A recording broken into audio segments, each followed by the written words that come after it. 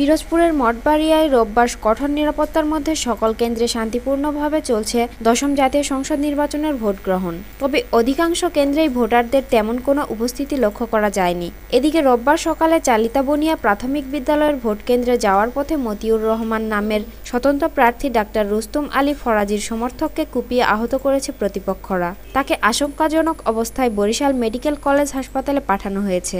এ ঘটনায় এলাকাবাসী সেখান থেকে দুজনকে আটক করে পুলিশে দেয়। এই এলাকার মানুষ স্বতঃস্ফূর্তভাবে ভোট দিতে আসতেছে এখানে কোনো বাধা নাই কোনো ই নাই।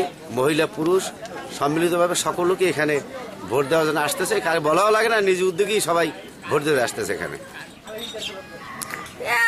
দুই মহিলা যতদিনে না যাইব ততদিন দেশ শান্তি হইবে না দেশে। যে এখানে কোনো সমস্যা নাই এখানে হানাহানি মারামারি নেই।